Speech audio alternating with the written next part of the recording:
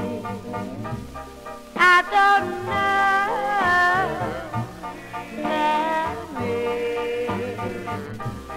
if this is so.